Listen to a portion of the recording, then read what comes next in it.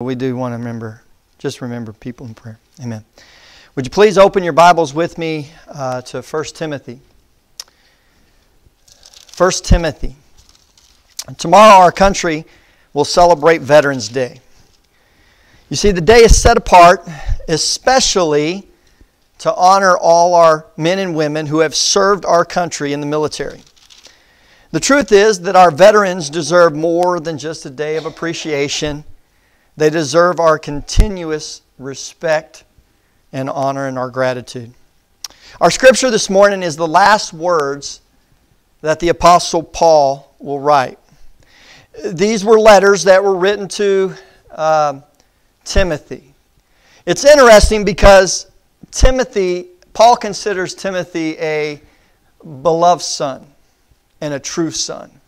And so these words are very personal. They're, they're very precious that he will write. Our scripture is 1 Timothy chapter 6, starting with verse 11. 1 Timothy chapter 6, starting with verse 11, it says, But you, O man of God, flee these things and pursue righteousness, godliness, faith, love, patience, gentleness Fight the good fight of faith. Lay hold on eternal life, to which you were also called, and have confessed the good confession in the presence of many witnesses.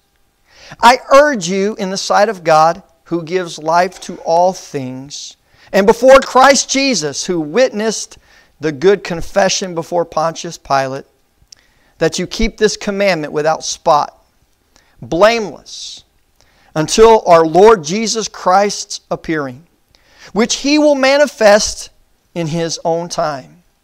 He who is the blessed and only potentate, the King of kings, and the Lord of lords, who alone has immortality, dwelling in unapproachable light, whom no man has seen or can see, to whom be honor and everlasting power.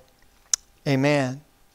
Command those who are rich in this present age not to be haughty, nor to trust in uncertain riches, but in the living God who gives us richly all things to enjoy.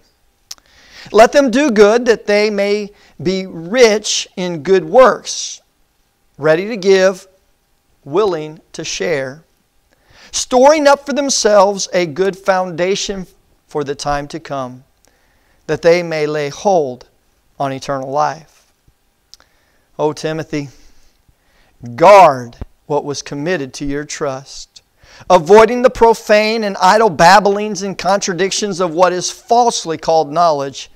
By professing it, some have strayed concerning the faith. Grace be with you. Amen. What does it mean to fight the good fight of faith. What does it mean to fight the good fight of faith? This first letter that Paul wrote to Timothy is dated around 64 AD. Paul is in prison, but he hopes to come to Timothy, and we see that in chapter 3, verse 14, where he says, These things I write to you, though I hope to come to you shortly. And so, even though Paul is in prison, there's still this, this uh, sense of hope and expectation that he's going to get out and he's going to come to Timothy and, and tell him these things personally. But until then, he's writing him this letter. The second letter to Timothy is dated closer to the death of the Apostle Paul, somewhere around 67 AD. And in this letter, Paul is pleading with Timothy to come see him. We see this in 2 Timothy chapter 4 verse 9. Be diligent to come to me quickly. So there's a big difference between 1 Timothy where Paul is in prison and he believes he's he's hopefully he's expecting to be able to get out and go to Timothy. And then in 2 Timothy, he's still in prison, but now it's it's past that. And now his desire is for Timothy to come to him and to come to him quickly. And so it's very, it's very interesting the difference between 1 Timothy and 2 Timothy. But I want you to hear the words that um, led up to the Apostle Paul begging Timothy to come to him quickly. Listen to these words. It's 2 Timothy chapter 4, verse 6 through 8. This is what would lead Paul to say, Timothy, come to me quickly. 2 Timothy chapter 4, verse 6 through 8. The Apostle Paul says, For I am already being poured out as a drink offering, and the time of my departure is at hand. I have fought the good fight. I have finished the race. I have kept the faith. Finally, there is laid up for me the crown of righteousness, which the Lord, the righteous judge, will give to me on that day. And not to me only, but also to all who have loved his appearance. So, what exactly is fight the good fight? What does that mean? Fight the good fight of faith. The Apostle Paul tells us in Ephesians chapter 6, verse 10 and through 12. The Apostle Paul tells us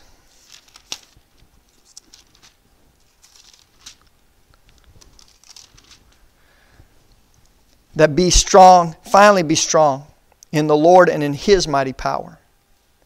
Put on the whole armor of God, that you may be able to stand against the wiles of the devil.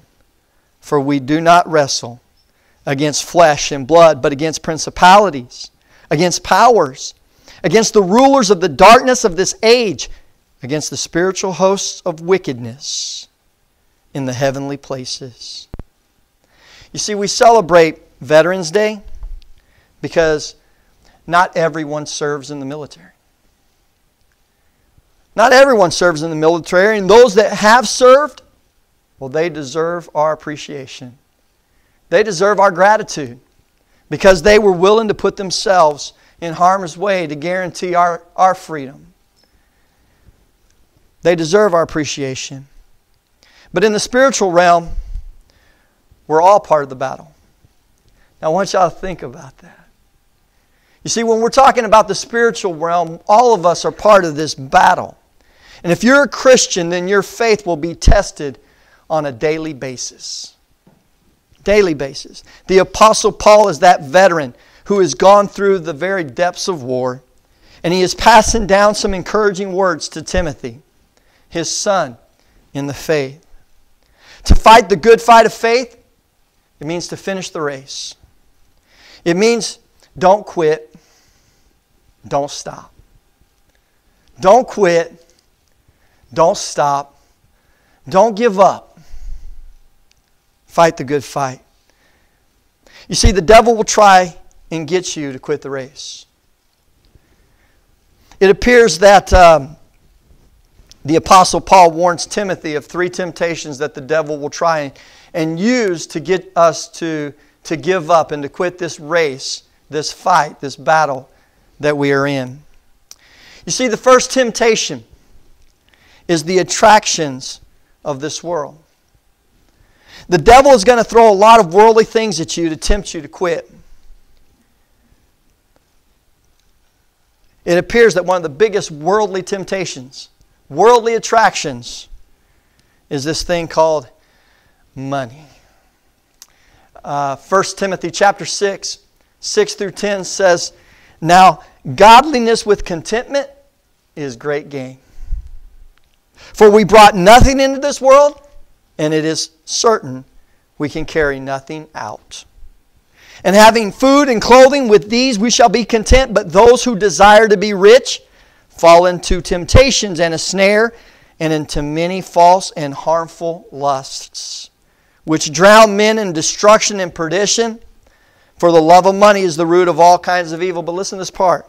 For which some have strayed from the faith in their greediness and pierced themselves through with many sorrows. You see, the devil was going to throw this temptation at you this temptation of, of wealth, this temptation of money, this temptation of greed, because his desire is to get you off the race. to get you out of the race, to get you out of the fight.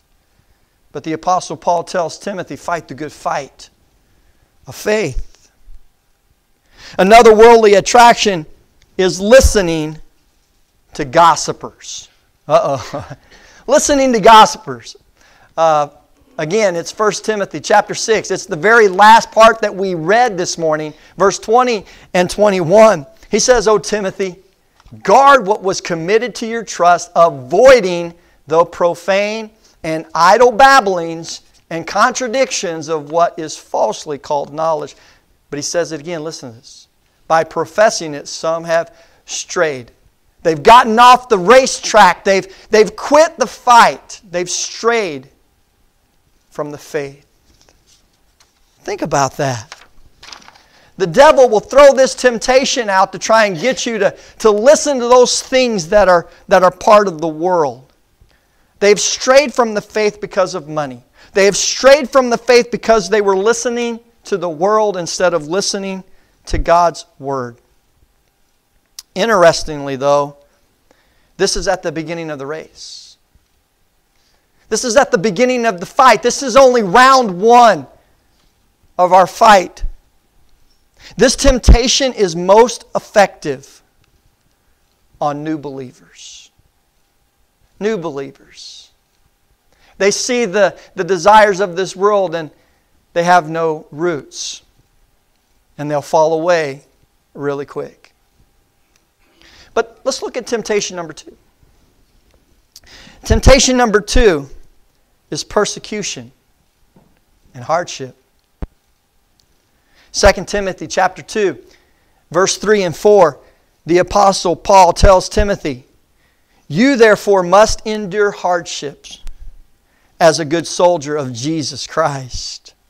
No one engaged in warfare entangles himself with the affairs of this life that he may please him who enlisted him as a soldier.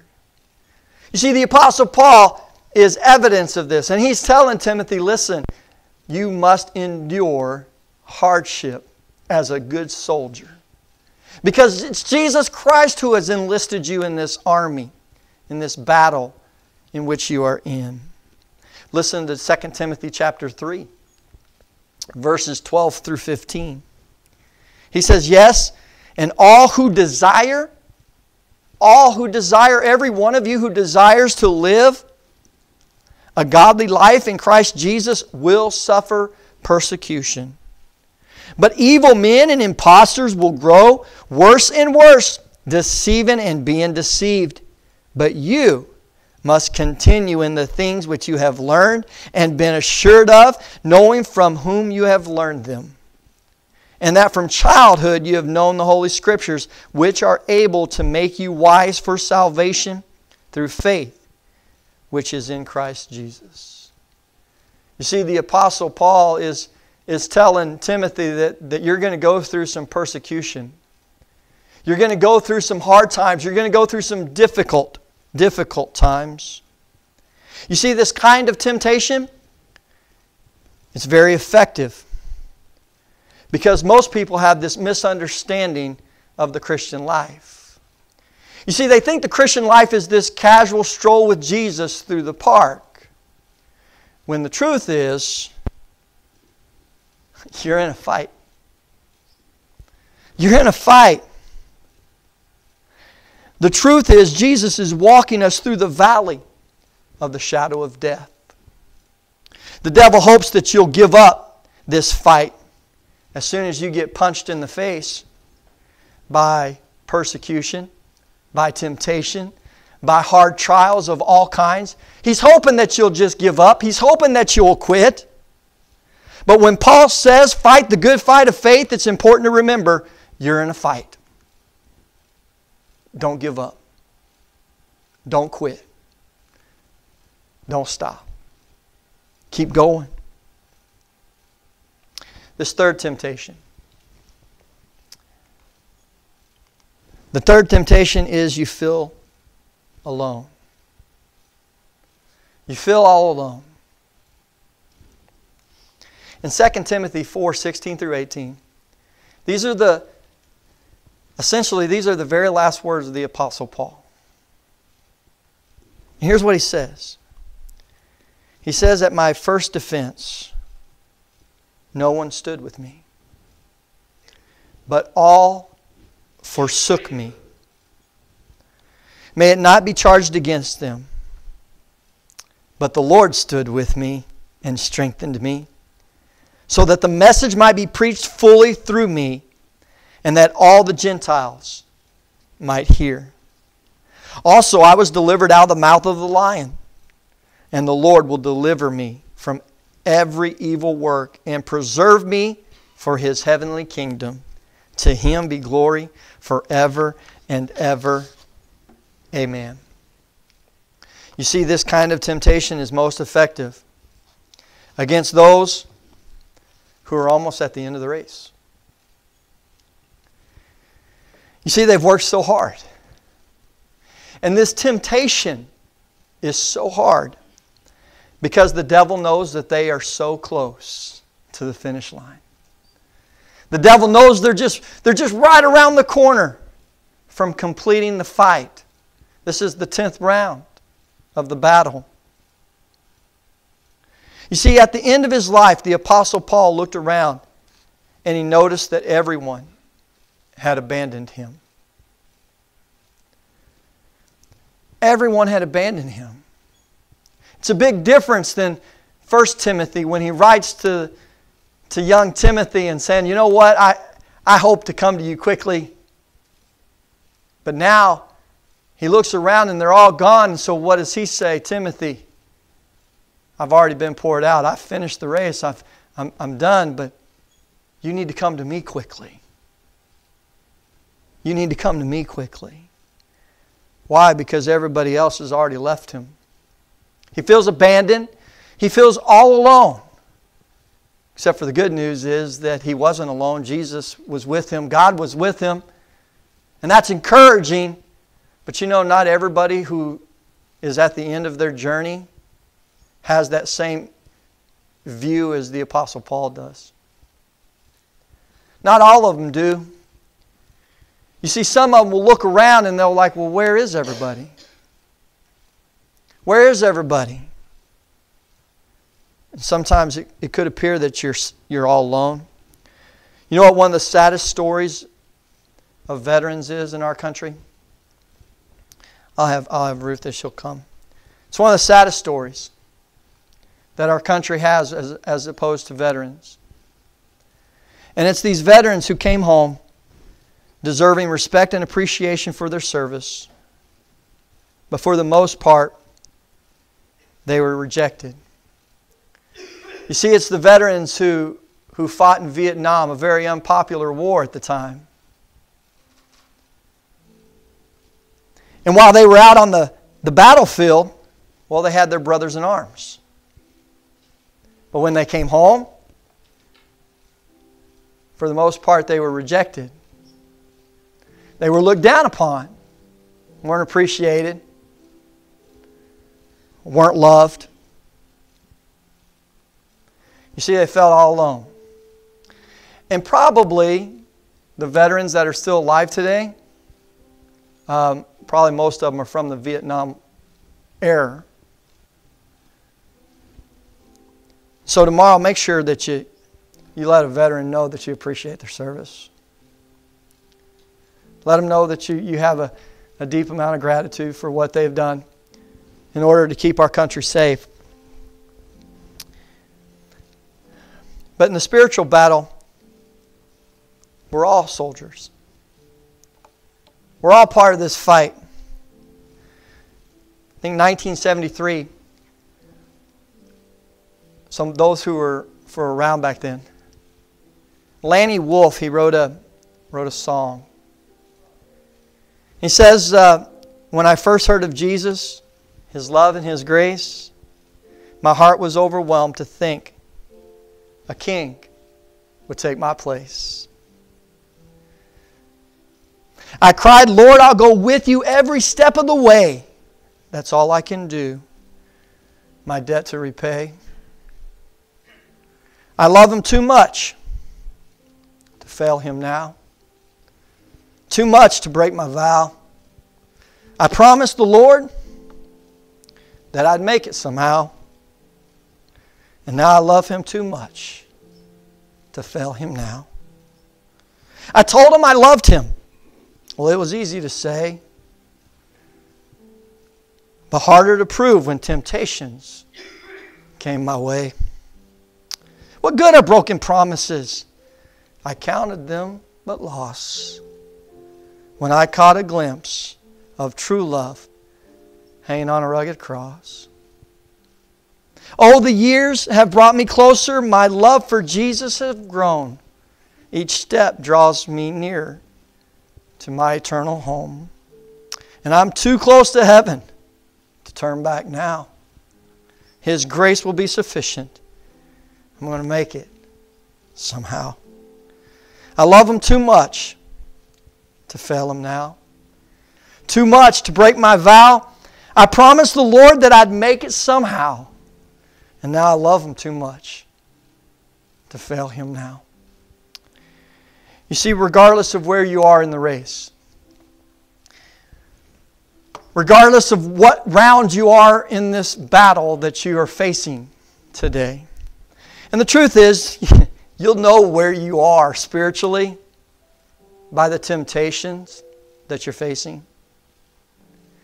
I told you that first temptation is most effective to those that are just beginning the race. Their, their eyes are so close to the things of this world and it's easy for them to just get off the track. It's easy for them to, to take that first punch from the devil and to just quit and to give up. And then there's those that, boy, you're, you've worked hard. You, you've been a Christian for a while, but man, you're going through some real tough persecution and hardship. The story of Job tells it true skin for skin. Let, let me lay your, my hands on him, and surely he'll curse you to your face. Well, hardship, persecution, troubles of many kinds will, will they cause us to quit the race? For those that run the marathon, it's called hitting the wall, and you just don't think you can go on any further. And maybe that's where you're at in this fight. Maybe that's where you're at in this, this race.